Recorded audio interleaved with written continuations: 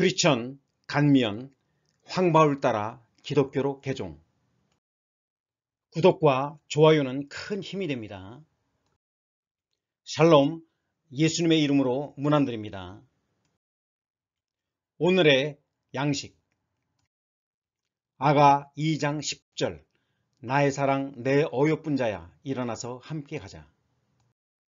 간미연 기독교로 개종 황바울 덕분에 기독교인이 된 간미연.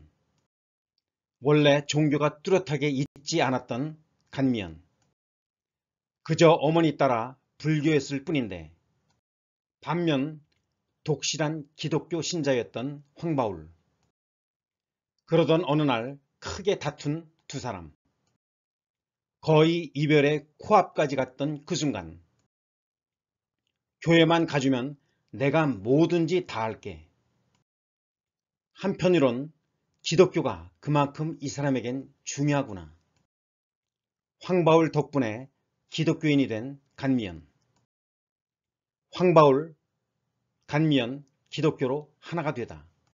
2019년 10월 22일 방송된 MBC 에브리온 비디오 스타에서는 이날 방송에서 MC 김숙이 남편 때문에 종교를 포기했다고 라고 묻자 간미연은 저는 뚜렷한 종교가 없었다. 어머니 따라 불교라고 하고 다녔는데 남편은 이름 바울처럼 모태신앙이다. 이어 간면은 만난 지 2년이 넘었는데 엄청 크게 싸웠다. 오늘 헤어지냐 마냐 만나서 이야기하는데 교회만 가주면 뭐든지 다 할게라고 생뚱맞게 말하더라. 당황했는데 생각해보니까 중요한 문제 같아서 그 뒤로는 뭐든지 내 말에 순종이다. 오케이 하고 주일마다 동성교회에 다녔다. 며칠 전에 세례도 받았다고 말했습니다. 2019년 10월 22일 방송된 비디오 스타에서는 결혼 유발자 특집 감미연, 박은지, 신주와 이혜주가 출연했다. 이날 MC들은 결혼 유발자 특집에 출연한 예비 신부 간면을 열렬한 축하와 박수로 맞았다. 이날 방송에서 결혼을 앞둔 예비 신부 간미연은 결혼 준비하면서 더 행복해지는 것 같고 가족이라는 생각이 드니까 더 사랑스럽고 그런 것 같다며 이상형이 웃는 게 예쁜 사람이었는데 어떻게 하다 보니 이상형과 결혼하게 됐다고 말했습니다. 간미연은 결혼 유발자 특집답게 예비신랑 황바울과의 에피소드 및 결혼 비하인드 스토리를 밝혔는데요. 간미연은 3살 연한 황바울과의 만남을 회상하며 연유로 발전하게 된 결정적 계기가 연구로 알게 된 후 웃는 게 예뻤다. 몇 년 후 보니까 남자가 됐다라고 이야기를 전했습니다. 만나서 문자 주고 관심을 주니까 마음이 움직이더라. 집에 데려다 주는 길에 뽀뽀를 해서 사귀게 됐다고 말했고 크리스천 MC 황보라는 사자성어로 선키 후사라고 한다고 너스레를 떨었습니다. 한편 간미연은 품절녀 대열에 오르기 전 남성 팬들을 위한 고별 무대로 베이비복스, Get Up, Killer 등 히트곡을 10년 만에 완벽하게 선보였으며 여기에 간미연은 남자친구가 돈 관리를 못한다. 잘 관리하는 사람이 하는 게 좋다고 하더라. 남자친구는 돈 벌면 사고 싶은 걸 다 산다. 결혼하면 사줄 게 있는데 저 몰래 샀더라. 지금부터 제가 관리하려고 통장을 갖고 오라고 했는데 안 준다. 그런데 깜짝 반전. 녹화 말미에 간면 몰래 예비신랑 황바울이 깜짝 등장해 출연진 녹화 도중 귓속말을 속삭이거나 끊임없이 손을 잡고 있는 등 애정행각을 끊임없이 해 크리천 MC 박소연의 염장을 질렀다고 한다. 예비신랑 황바울은 감미연을 위한 사랑의 세레나데와 함께 본인의 통장 수여식을 가졌다. 내가 너에게 모든 걸 다 줄게 라고 말했다.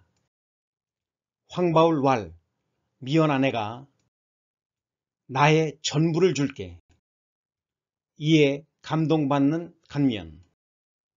무릎을 꿇고 전 재산을 바치는 황바울. 해피엔딩 with 통장. 간미연이 간절히 바라던 경제권 획득. 간미연 왈 통장이 3개나. 드디어 마지막 통장 확인. 간미연 대만족. 간미연은 통장을 확인하고 대만족하며 이런 성과를 또 감사합니다라고 너스레를 떠는 모습으로 웃음을 더했습니다. MC 박소연은 반지 주는 프로포즈 많이 받지만 의미가 있다. 정말 간면이 원했던 통장을 주는 통장 프로포즈는 처음 봤다고 말했습니다. 간면은 누구인가? 종교 불교에서 기독교로 개종. 출생 1982년 2월 2일 39세. 신체 169cm 47kg O형. 배우자 황바울. 학력 경기대학교 다중매체 영상학 학사. 데뷔 1997년 베이비복스 정규 1집 이퀄라이저. 간미연 캐스팅 비화.